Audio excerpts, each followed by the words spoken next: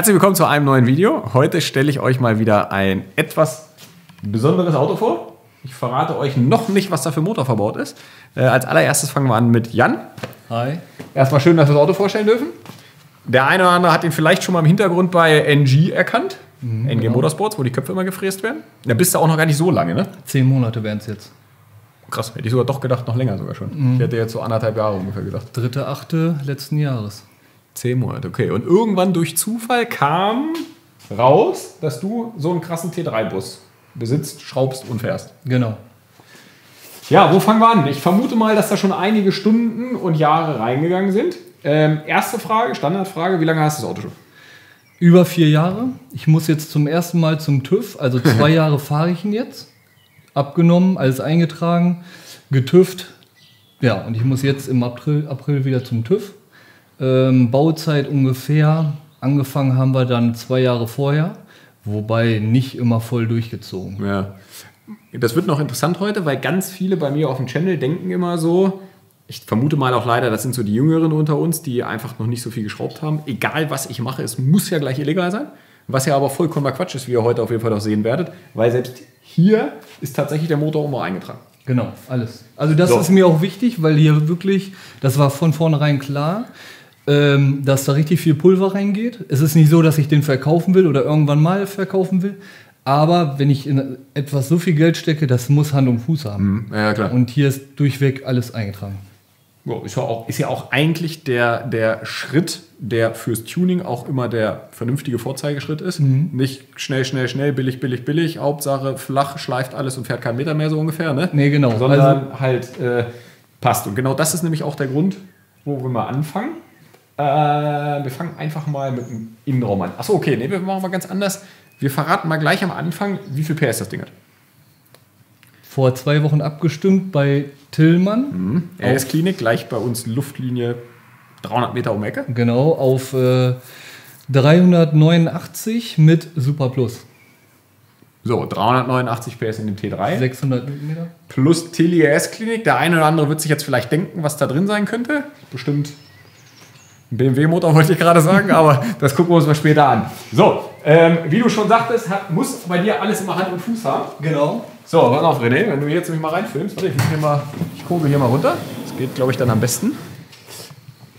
Ich weiß gar nicht, wo ich anfangen soll bei diesem Auto, weil alleine schon, wenn man hier reinguckt, sieht das Ding halt auf den ersten Blick schon mal aus wirklich wie neu. Also wirklich Sitz, Teppich, Einstiege, auch so die ganzen Scharniere, Kunststoffteile.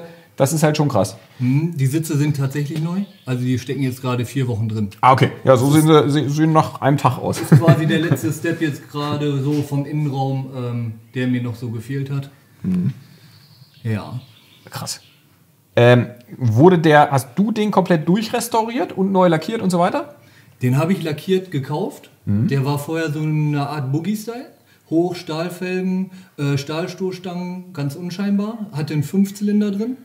Ähm, 136 PS, kennt ja jeder so.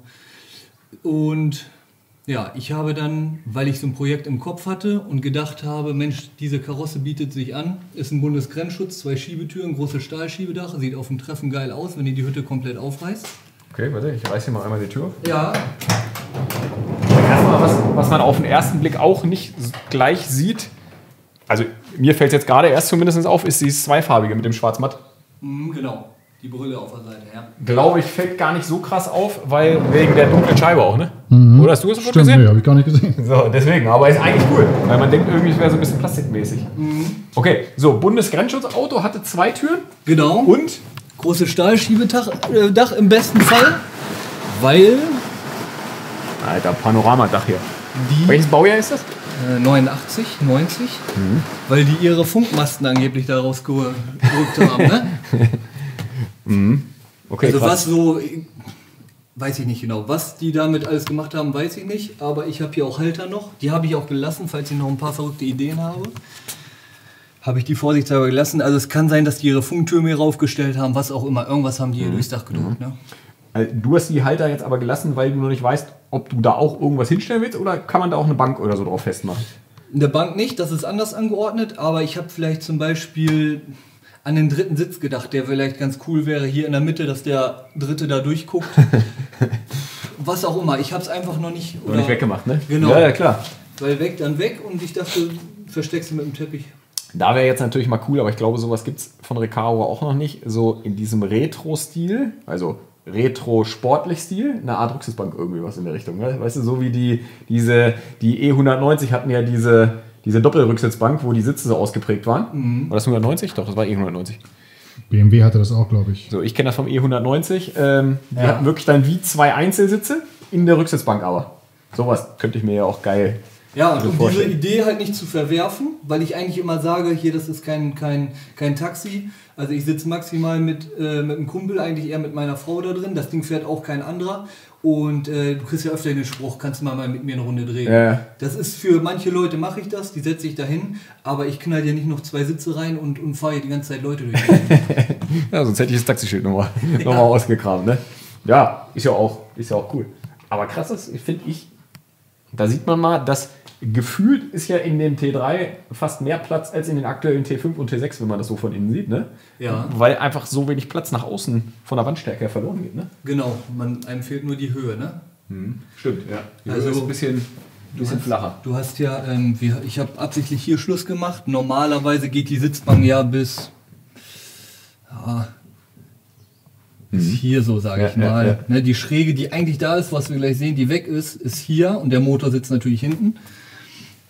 Mm, Das Aber- ist auch so eine Sache, warum diese Karosse halt so geil war, weil der Innenraum ist für den Arsch. Also wenn, du- wenn du jetzt, äh, ich sag's jetzt mal so, Mittelmotorumbau machst, ist der Innenraum verloren. Mhm. Also es gibt Leute, die auch das noch umgebaut haben für eine, zu einer Sitzecke, aber das war für mich wirklich äh, Ja, ja. nicht mehr relevant. Ne? Jo, aber auf jeden Fall sympathisch, einen T3 als Zweisitzer zu fahren. Ist mal, ist mal ein Coupé, Cabrio, alles in einem. Ja, So, okay, jetzt sagtest du, ähm, das muss alles komplett. So, deswegen sehen wir hier nämlich auch XXL-Bremse. genau.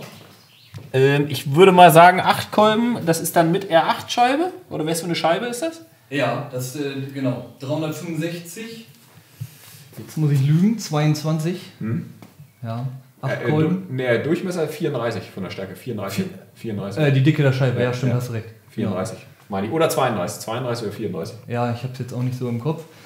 Ähm, witzigerweise auch im Phaeton verbaut. Also ich habe einen ganzen Phaeton gekauft, nur für die Bremse. Da waren die dann ganz oft aber nicht gelocht und so, ne? Die hatten dann auch mal nicht gelochte Scheiben und so. Ja, ja. Ja, krass. Da ist natürlich mal auch eine Bremse für den Bus, ne? So, und jetzt sehen wir nämlich die Baustelle, hattest du mir noch gerade von erzählt. Ähm, einen neuen Bremskraftverstärker. Genau, der Bremskraftverstärker auch vom A8. Ähm, Doppelkolben ist natürlich ja, Pflicht bei der Bremse, sag ich mal. Ne? Lustigerweise passt das aber Plug and Play nahezu der mh, Bremskraftverstärker auf den Pedalbock vom T3. Also der, die Gimmick dahinter ist alles T3 und der Verstärker und alles, was man quasi sieht, ist vom A8. Ich sehe, also ich bin ja absolut kein, kein Busschrauber, sage ich jetzt mal. Ja. Ne? Und ich feiere ja gerade schon diese Umlenkung, dass du mehr oder weniger Bremskraftverstärker auf dich zu hast, ne? Ja, Hätte ich auch niemals so jetzt drüber nachgedacht, dass der Bremskraftverstärker da so unter dem Armaturenbrett sitzt. Mhm. Hätte ich niemals, niemals. Äh Bei dieser Variante ist es auch so, dass du keinen T3-Tacho mehr fahren kannst. Ähm, weil das einfach so viel aufbaut. Das ist alles sonst viel tiefer drin. tiefer drin, ja. ja. Und der Tacho vom T3 ist auch ziemlich groß. Das passt da gar nicht mehr. Mhm. Und deswegen fahre ich jetzt, wie man hier sieht, den S4-Tacho. Alles ein bisschen verschönert oder umgebaut, verkleidet und trägt nach hinten nicht so viel auf. Ne?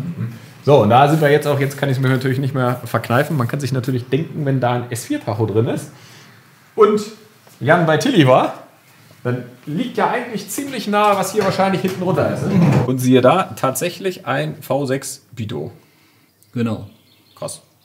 Wäre ja eigentlich auch so mein Traummotor für meinen Bus. Ja.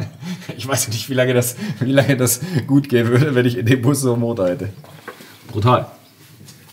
Okay, das heißt, äh, hier ist einmal S4 V6 Technik, aber jetzt als Mittelmotor drin. Ganz genau. So, das heißt, da schlummert auch dann dementsprechend ein eigentlichen frontangetriebenes Getriebe drin. Hm, 2WD, ja. Ich habe angefangen mit einem V6 äh, 2.5er TDI-Getriebe. Das war aber so lang, dass der äh, von der Drehzahl immer so tief war, dass der aber mit dem Ladedruck dagegen gestoßen ist und ich immer so Verspannung auf dem Antriebsstrang hatte. Äh, jetzt ist es aktuell vom 1.8T 0304er Baujahr, ein letzte 01E Getriebe und wesentlich kurz. Ja. Also der macht jetzt Weil mit den TDI-Getrieben, die bin ich zum Schluss auch gefahren, dann wäre das halt so ein Bus mit der Radreifenkombination, der dann so halt im, im fünften Gang 330 oder so fährt. Ne? Was, Ja, im genau. T, Im T3 natürlich jetzt nicht unbedingt. äh, Also zum Cruisen im Nee. sechsten Gang hatte ich bei 180 irgendwie knapp über 2000 Umdrehungen. Ähm, ausgefahren oder ausfahren konnte ich nur noch im vierten Gang. Im fünften Gang ist er schon wieder langsamer geworden. Wegen dem Windwiderstand. Ne? Also, was ich auf jeden sieht auf jeden Fall schon mal extrem sauber alles aus. Und irgendwie ist das ja tatsächlich, ja, ich will jetzt nicht sagen, so wie als wenn es hier ursprünglich drin war, ne? Aber sieht schon irgendwie passig aus alles. Wie bist du darauf gekommen, genau den Motor zu nehmen? Also Gang und Gäbe im T3 ist ja ein V8. Die Jungs aus Havelberg, die machen das ja auch, ähm, ja, also du kannst das, dein Auto da ja in Auftrag geben im T3. Und ähm, tja, wie bin ich da drauf gekommen? Ich bin früher Audi gefahren, gerne Fünfzylinder, S2 Coupé, S6 hatte ich alles. Und ja, ich wollte irgendwas, ich will immer gerne was, was nicht jeder hat. Und Ähm, bin irgendwie auf diesen Motor gestoßen. Und ähm, der Fünfzylinder, der hier drin war, war aber auch schon als Mittelmotor so drin. Nein, der war hinten, das geht so. Ah, okay, verstehe. Am Seriengetriebe. Mhm. Das heißt, der war dann quer eingebaut. Äh, längs. Hinten drin. Auch längs. Echt, das geht? Krass. Hätte ich gedacht, der guckt einen halben Meter hinten raus. Das, das ist kein Problem. Das geht, okay. Ja, okay, aber da- da- das muss ja auch wirklich eigentlich dann nicht schlecht fahren, ne? weil der Motor so vor der Hinterachse. Äh, genau, wir haben eine Achsverteilung vom Gewicht her fast 50-50. Und ich bin vorab dann mal einen Mittelmotorumbau gefahren und habe mich halt von diesem leichten Go-Kart-Feeling äh, sehr überraschen lassen, weil das Ding wirklich, es fährt schöner Ja, ja. und man hat vernünftige Motorlager. Ähm, das geht auch, wenn der Motor hinten sitzt, aber das ist, es ist immer ein Gerappel, weil du nie richtige Hydrolager da reinkriegst. Ja, ja, klar. Das ist jetzt aber alles weg. Das ist jetzt alles schön so mit den, mit den S4-Lagern. Ne? Ähm, wie hat Tilly so geguckt, als er das Ding gesehen hat? Weil ich vermute mal, das war auch das erste, den ersten V6, den er Ja. im Bus abgestimmt hat, so ungefähr. Ne? Also ich war ja vor zwei Jahren da, da haben wir ja die Grundleistung aufgenommen und er dachte, ja, komm mal rum, ich äh, pack dir da mal eben ein bisschen Leistung drauf und fährst wieder nach Hause. ja, ja. Dann ist er erst mal eine halbe Stunde um das Auto rumgerannt und fand das ganz geil. Dann hat er beim Fahren aber gemerkt, dass der Windwiderstand, die Wärme hier drin und noch so ein paar andere Faktoren so dagegen spielen, dass wir dem nicht einfach Leistung auf den Kopf drücken konnten, weil die Werte völlig durch die Decke gegangen sind. Ah. Abgastemperatur, Ansaugluft-Temperatur. Äh, dann hatte ich auch äh, schlechten Sprit getankt und dann äh, haben wir eigentlich nur eine Eingangsmessung gemacht. Festgestellt, jo, 265 liegen an, das war mir schon mal ganz wichtig. Und dann bin ich nach Hause gefahren. Okay, aber kommt hier echt so eine Wärme noch raus? Mhm. Hätte ich gar nicht gedacht. Also ich habe ähm, jetzt auch durch das Abstimmen äh, ist auch wieder ähm, herausgekommen, dass Abgastemperatur ist ein richtiges Problem. Also ich habe ich hab ja hier den Luftfilterkasten Ah, da kann man auch noch aufmachen. und da ist mein Rohr und der saugt hinten im Ohr an. Alter, Dazu- mit, mit halbem RAM er hier. Und dazu kommt ja noch, umso länger ich fahre, umso wärmer wird es hier drin. Die ganze Bude wird warm und wir gehen über 40, 45 Grad Ansaugluft-Temperatur. Vor zwei Wochen bei 15 Grad Außentemperatur. Okay, krass. Aber schön alles mit Original Luftfilterkasten und so weiter gebaut, ne? So, und ähm, Ladeluftkühler, das wäre jetzt der nächste Punkt gewesen. Kann man den ja auch aufklappen? Ja. Ähm, das wäre jetzt die Frage gewesen, ob man hier irgendwie einen Luft-Luftkühler reinkriegt. Ähm, aber da sieht man natürlich schnell, wie will man hier jetzt noch einen Luftstrom reinkriegen. Das wäre ja, wenn dann nur irgendwie hinten liegend oder irgendwie so gegangen. Genau, ich habe auch schon Varianten gesehen am Unterboden mit Luftleitblechen, dass sie die anströmen. Ähm, Und da bist du dann relativ schnell auf die Idee gekommen, einfach einen Wasserladeluftkühler zu machen. genau, So, das heißt, hierfür brauchen wir einen zweiten Wasserkreislauf, ganz der genau. dann wahrscheinlich dieser hier ist, ne? Ja. Einen zweiten Wasserkreislauf, das auch wieder ein Problem darstellt, weil im T3 wenig Platz. Ich habe quasi jetzt vorne in der Front vorm Wasserkühler äh, noch einen zweiten, der jetzt aktuell wahrscheinlich noch ein bisschen klein ist. Ich muss mal gucken, dass mir jemand vielleicht auf Maß einen neuen baut. Ähm, Das heißt, einmal komplett vom Haupt Motor, das Kühlwasser bis nach vorne und wieder zurück. Und das gleiche quasi mit Ladeluftkühler auch nochmal. Ganz genau. Funktioniert das? Jetzt für mich rein Interesse halber, weil es genau ja mein Motor so ist, mit der originalen Wasserpumpe. Geht das? Ist die stark genug, dass sie das so zirkulieren lässt? Oder hast du eine zusätzliche Pumpe nochmal eingebaut? Nein, ich fahre die Wasserpumpe vom Motor. Die reicht, okay, krass. Ja. Und, und natürlich für den Wasserkreislauf habe ich eine externe unterm Auto. Ne? Krass. Also die beiden Wasserkreisläufe haben nichts miteinander zu tun. Ja, ja. Und ähm, was hast du an diesem Motor jetzt noch alles dann gemacht? Oder einfach komplett erstmal reingehangen und äh, erstmal Hauptsache läuft alles und dann geht's weiter? Ich habe einen verunfallten S4 AGB gekauft und habe den erstmal reingehängt, weil so ein Projekt natürlich auch Kohle verschlingt und ich ähm, ja, vor vier Jahren auch noch nicht so weit war. Jetzt arbeite ich auch bei NG, da hast du ja auch ein bisschen mehr Connection oder Ideen. Ja, ja. Ich habe den Alle Stumpf rein, Verrückten auf einem Haufen. Genau. Ich habe den Stumpf da reingehängt ähm, und habe dann auch festgestellt, dass der an sämtlichen Stellen ölte, dass die Turbolader gebläut haben und dann kam eins zum anderen. Und dann habe ich jemanden kennengelernt, der so eine Motoren aufbaut und äh, in seine Auto steckt. Ich habe von dem aber eigentlich nur Teile kaufen wollen.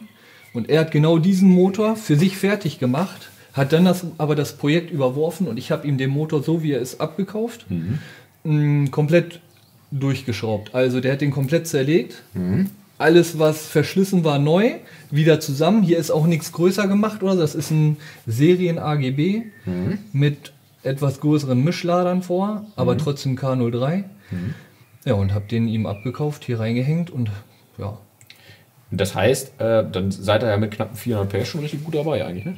Das ist dann schon richtig stark so. Ne? Für noch die kleinen Turbos, innen ein bisschen größer. Wie ist das? Wo, wie muss ich mir das jetzt gerade vorstellen, die Hinterachse von dem Ding? Ist das irgendwie noch die alte Hinterachse, wo jetzt hier Total. nur Motorgetriebe drauf liegt? Das geht, das ist nur, wir gucken von hinten rein. nur adaptiert, okay. Ja. Ja, und äh, hast auf jeden Fall eine schöne, eine schöne Fußbodenheizung, sage ich jetzt mal. Wenn du nach einer Anreise irgendwo dir überlegst, hier drauf zu schlafen. Dann schläfst du gut ein. Das wird noch nach. Ja, das Problem ist, ich habe da nicht so den Plan von den T3s. Da ist ja fast Platz für noch einen Motor. Als erstes wirst du ja sagen, geil, wie schnell kann ich denn hier die Turbos wechseln? Ja, das ist äh, genau, ist halt genau verkehrt rum wie, wie sonst so. Also du siehst, die Hinterachsschwingen laufen da links und rechts. Hier haben wir die Antriebswellen. Das ist dann irgendwas gebautes? Die Antriebswellen, das ist eine Sonderanfertigung, ja. Das ist von den Jungs aus ähm, Havelberg, die die V8 damit bestücken. Ähm, und dann ist eigentlich nur hier unter eine Strebe gekommen, der jetzt das Getriebe abfängt. Und die Motorlage, das sieht man jetzt schlecht, sitzen links und rechts auf dem Grundrahmen vom T3. Selbstgeschweißter Halter, Motorlager drauf, Motor sitzt. Fertig, krass. Und eigentlich ist hier der Motorraum zu Ende vom T3. Also der Motor sitzt Aber krass, hier. dass hier, der, hätte ich niemals gedacht, dass der 15er längs hier noch so. Mhm. Also hier waren minimal, wenn man hier mal guckt, hier war minimal eingeschnitten für Ja, das. Ja, aber hier kommt das Wort Dämmung dann nochmal ganz neu, ganz neu, ganz, ganz neue Wertigkeit, ne? Weil klar, da zieht natürlich gut Temperatur hoch. Ne? Ja, also das ist auch ähm, erstmal wegen, wegen, auch wegen Brandgefahr. Ne? Ja. Und Dämmung, klar, kannst du nicht genug haben. nie genug haben. Die Leute fragen mich immer, ist das laut? T3 fahren ist eh laut. äh, wie man vorne auch sieht, habe ich auch überall Alubetyl da äh, an die Bleche geklatscht, auch die ganze Karre hier von innen voll. Ähm, entweder bist du T3-Fahrer oder nicht, dann nimmst du das in Kauf. Ja, ja. Es ist aber erträglich. Also wir können noch bei 160 auf der Bahn noch miteinander quatschen. Es ist halt nur etwas lauter. Ne? Und ähm, was wiegt das Auto? Habt ihr ihn bei Tilly gemessen? Ja, äh, 1750 leer und äh, gemessen dann mit uns beiden vollen Tank 1950. Okay, krass. Hätte ich jetzt gedacht, viel, viel schwerer. Wirklich? Ja. Guck mal, du musst dir überlegen, nimmst du einen gut ausgestatteten S4-Kombi mit dem Motor, Ja. wiegt der auch schon 1600 Kilo. Okay. Da ist nicht das ganze Auto mit Dämmmatten voll, ne? da ist nicht dieser Ausbau drin und so weiter. Klar, da ist vielleicht nochmal ein Navi, Navi mehr drin oder so, aber das macht den Kohl ja auch nicht fett. Also da finde ich schon, dafür, dass hier ja Leichtbau bisher noch gar nicht betrieben wurde, außer dass halt keine mittlere Bank drin ist, so ungefähr. Ne? Ja, stimmt. Äh, viel Edelstahl verbaut ist und so weiter, finde ich das schon, ich jetzt nicht schwer. Und ich bin dann mal gespannt, was du sagst, wenn wir dann mal eine Runde fahren. Weil äh, Ich auch. Tillmann hat, äh, also der hat wirklich geschmunzelt irgendwann. Das war, er sagt, du denkst, das ist ein T3, aber du siehst ihm die Leistung nicht an und dann schiebt er auf der dritten Spur schon so, dass das wirklich äh, dir ein Laune macht, ne? Mhm. Was hat so ein T3 normalerweise an Leistung? geht los bei 54 PS, 1,6er Sauger, äh, 50 PS und maximal im 2.1er Wasserboxer 112 PS früher. Wobei hier, glaube ich, ist noch das krassere mit den kleinen K03 Turboladern, dann der V6, wird das Ding ja garantiert auch schon 600 Newtonmeter oder so haben in den Dreh, ne? Genau, 600. 600 Newtonmeter haben und ja, 600 Newtonmeter, die relativ früh kommen, die dann so bei zweieinhalb oder so da sind, ne, wird das Ding halt schon unten raus richtig kräftig anschieben halt. Ne? Also wir haben auch beim, beim Abstimmen, bei, beim Fahren, wir sind ja wirklich vier Stunden durch die Gegend gefahren mit Tillmann auf dem, auf dem Beifahrersitz. Ähm, die Drehmomentkurve geht wirklich recht zügig los, was ich sehr gut finde. Also ich bin jetzt keiner, der jeden Gang bis sieben zieht. Ja. Also ich schalte so bei 5, 5,5 und ich habe auch bei, jetzt muss ich lügen, 5, so in dem Dreh 5,2 mein maximales Drehmoment anliegen. ja, ja. Und das ist halt bei diesen, man vertut sich wirklich, was dieser Windwiderstand mit diesem Auto macht. Also bei 230 gehen auch wirklich irgendwann die Türen oben auf und du siehst die Sonne, ne? Das heißt, mit knapp 400 PS müsste der trotzdem theoretisch schon so, ja, ich sag mal so 260, 270 müsste der eigentlich fahren bestimmt, ne? Ähm, Vielleicht sogar ein richtig 280 oder so. das Getriebe ist einfach zu kurz. Ach so, ist das jetzt so kurz? Das ist so kurz. mh. Der Gas wirklich an, ich brauche auch nicht mehr runterschalten. Im sechsten ist es auch wirklich so, dass du noch nickst, wenn ich durchtrete. ja, ja. Ähm, aber so bei 230 ist 230, 240, aber mit Würgen, dann ist Feierabend. Krass. Okay. Ja, hier sieht man so ein bisschen die, die, die Wasserleitung, wie sie dann einmal nach vorne gehen. Genau. Die beiden Vorlauf, Rücklauf. Aktuell ist es auch so, dass mich die Ansicht von hier hinten noch nicht so ganz befriedigt. Da will ich auch noch so ein bisschen was mit äh, Hitzeschutz betreiben. Ja, man sieht auf jeden Fall, dass du auch schon stark so detailverliebt bist und dass halt alles schon akkurat ordentlich sein muss. Alle Klipse, so alles gerade genau. und, und nicht so Hauptsache fährt. Ja. Also ich bin immer wieder am Optimieren. Ich, es gibt auch so Tage, da ist das Auto auf der Bühne, ich sitze mit einem Pilz und einem Rollstuhl unterm Auto und gucke mir einfach eine bestimmte Stelle an und gucke, wie kann ich das jetzt noch schöner machen. Ich bin, glaube ich, drei Tage unter dem Auto hergerollt und habe einfach nur Leitungen anders verlegt oder schöner gemacht mit Ka findest, ne? Kabelbinder, Schellen, weil mir das nicht gefallen hat, weil ich du doch, doch überlegt hast, geht geiler. Genau. Und ich, hab, ich hasse es, liegen zu bleiben. Also, äh, weiteste Strecke war jetzt Fehmarn zum Treffen. Ähm, ich, ich hasse das, au- da kriege ich so schlechte Laune, das muss laufen. Also, da, da rede ich dann von, von Leitungen, die irgendwo scheuern, wo ich keine Lust drauf habe, die dann durchscheuern. Ja. Wie, ja, was hat der für einen Tank? Wie viel gehen da rein? 55. Okay, das geht Original, ja. ja. Geht ja ne? Das heißt, so 300, 400 Kilometer kommst du ja locker mit dem Ding auf jeden Fall immer, ne? Ja, wenn du jetzt Feuer machst, also 300, dann ist Feierabend. Ja, wenn du jetzt natürlich, wenn du jetzt Kapelle machst die ganze Zeit, ist, ist, geht natürlich durch so ein S4 dann auch gut was durch. Ne? Genau. Aber ich glaube auch, dass dieser Step mit den K03 für diesen Motor, der K03 sind immer die serienmäßigen S4-Lader, auf jeden Fall richtig ist, weil ich glaube schon, dass das gerade für dich, wenn du sagst, du drehst nicht so weit, schon das geilste Konzept ist. So, weil was bringt es dir, wenn jetzt 1000 Umdrehungen später das gleiche Drehmoment anliegt, ne? wenn du eh eher so dieser unten raus Fahrer so bist. Ne? Genau. Ähm, Thema Schaltung ist komplett umgebaut auf Seilzug. Ja, richtig. Ähm, das heißt, die Seile gehen logischerweise bis vorne zum Shifter eigentlich. Ja, genau. Okay, krass. Dann ein Seil quasi für die Gasse und ein Seil für. Genau. Dabei ist das Witzige, wir haben ja äh, quasi vier Lagen. Also es ist ein Sechsgang mit Rückwärtsgang und ich bin aber vorne in der T3-Kulisse. Also die sind richtig knackig nebeneinander. Als Ungeübter, wenn du dich reinsetzt, bist du permanent vom ersten ja, runter in den zweiten und gehst hoch in den dritten und bist aber dann schon im fünften, weil die so knapp nebeneinander liegen. Das musst du wirklich üben. Aber wenn du es dann drauf hast, dann ist das echt Dann geil. das, ne? Und ähm, ist ein bisschen anpassen, dass ein bisschen mehr Luft dazwischen ist, wollte er nicht. Also du Geht- willst, willst ja schon so knapp Geht, haben. geht nicht. Also, weil der unten, der hat unten so einen komischen Kasten. Ähm, Du kommst mit dem Hebel schon an den Anschlag links rechts. Genau. Also es würde gar nichts bringen, jetzt hier das Hebelverhältnis am Getriebe zu verändern, genau, weil du vorne gar nicht einen Platz hast. genau. Dieser Shifter ist ja auch ähm, so eine Produktion aus äh, Amerika. Und äh, der ver verkürzt ja schon mal die Gänge durch so eine bestimmte Bauform, die unten drunter herrscht. Ähm, aber trotzdem sind die Gänge recht lang. Äh, also die Schaltwege, ne? Es ist wirklich Busfahrer-Feeling trotzdem noch. Ähm, wie kommt das, was mich jetzt noch so als letztes interessiert, wie kommt das Auto in der Busszene so an? Ist das schon recht bekannt oder, oder noch dadurch, dass er jetzt gerade erst fertig ist, war es noch gar nicht so viel mit unterwegs?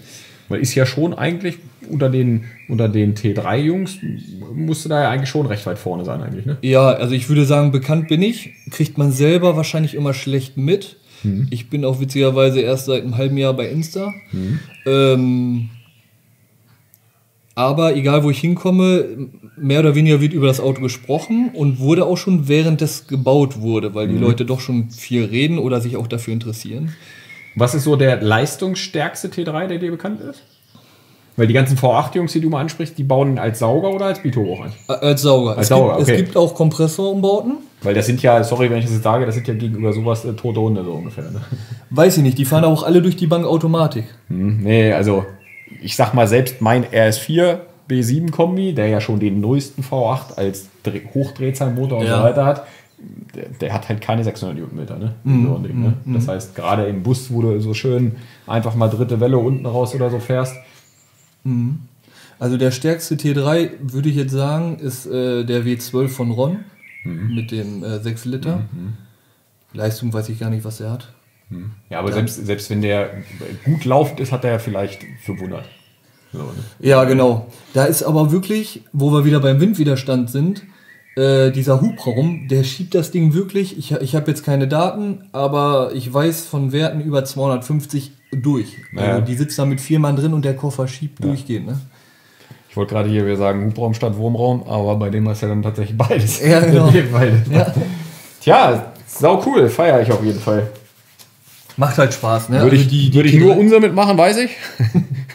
Gerade weil der, der Motor ist so, der, du hast ja den Motor jetzt in Anführungsstrichen mit 400 PS zwar definitiv erstmal 100% sinnvoll gebaut, aber man hat ihn ja damit auch quasi gerade erstmal so zum Leben erweckt. Ne? Mhm. Weil das ist ja eigentlich ein Motor 500, 600 können die ja schon, können die ja schon gut. Ja.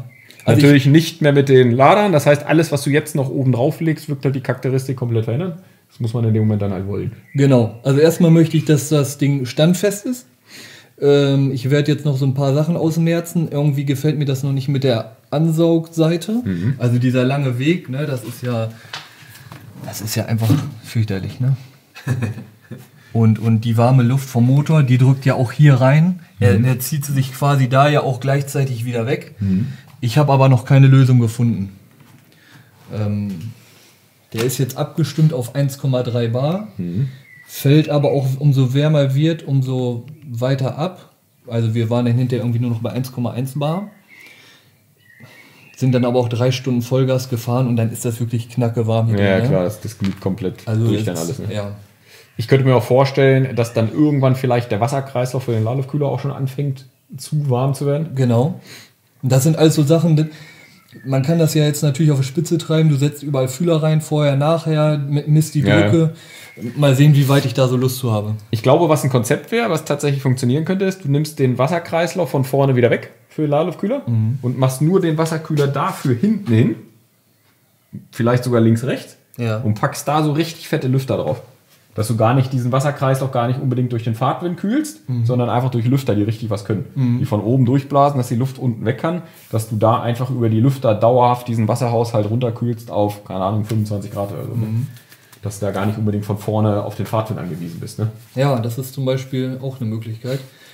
Weil man dann nämlich, dann hat man immer den Vorteil, dass du diesen Wasserkreislauf auch runterkühlen kannst, während du eigentlich gar keine Last abfragst, während du halt so ein bisschen nur durch Ortschaft schipperst, bevor du wieder reinlatscht, kannst du Lüfter laufen lassen und kühlst das wirklich komplett runter auf 20 Grad oder so und dann geht's wieder, geht's wieder los. Ne? Weil das habe ich jetzt schon ganz oft gemerkt, dass man diese, die Wasserkühler für den Ladeluftkühler wirklich gar nicht unbedingt im Fahrtwind platzieren muss. Also Okay. wenn man da starke Lüfter hat, die richtig was können, Ja. ähm, kann sowas auch funktionieren. Weil du natürlich immer den Nachteil hast, der Wasserkühler dahinter mit 90 Grad, 100 Grad, die V6 machen ja brutal viel Wärme. Ich weiß nicht, wie viel Wassertemperatur hat der beim Fahren? D Temperaturen top. Ich habe ja also in Summe fünf äh, Kühler hier drin. Ne? Öl, zweimal Wasser, zweimal Ladeluft.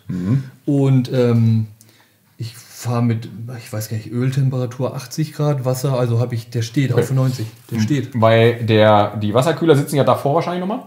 Das heißt, sie kriegen ja auch so ein bisschen Strahlwärme die ganze Zeit ab von den 90 Grad vom, vom eigentlichen Wasser und dadurch erhitzen die sich natürlich auch recht. Bei der Dakar in der Wüste, da machen die das ja auch so, dass die Lüfter, beziehungsweise, ja genau, dass die Lüfter hinten auf der Fläche sitzen. Ja, Ja. dass sie da dauerhaft richtig. Ja. Das wird mit Wasser, also mit dem Hauptwasserkreislauf wird das, glaube ich, nicht so gut funktionieren, wenn du hinten welche reinmachen würdest mit Lufter. Ne? Aber für den Ladeluftkreislauf ähm, funktioniert das manchmal ganz gut. Nee, also Wassertemperatur ist top, ne? Der steht auf seinen 90 und das ist ja auch Wahnsinn. Dieser Motor ist ja so geil. Ich fahre hier aus dem Ort raus und der hat schon seine 90 Grad. Ja. Ich fahre 10 Kilometer warm, bis er seine Öltemperatur hat und dann kriegt er vor Schnauze. Geil. Hier ist übrigens auch Entlüftung hinter. Kommt von, vom Motorraum bis hinten raus. Tja, so, ich würde sagen, haben wir die Technik einmal soweit durch. Ja. Ähm, wir können jetzt leider noch nicht sofort losfahren, weil kein Armatur mehr drin ist. Ich freue Genau. mich aber auf jeden Fall auf die Fahrt und ihr könnt euch auf einen zweiten Teil freuen, wo wir hoffentlich eine kleine Runde drin. Hm, ich freue mich. Sehr schön. Ja, Ich mich auch. nur doch einen dritten Sitz einbauen. Oder du liegst da hinten so, so drin. Ja, dann auf jeden Fall danke schon mal, dass wir das Auto vorstellen dürfen Gerne. und Ich freue mich auch. bis zum nächsten Mal.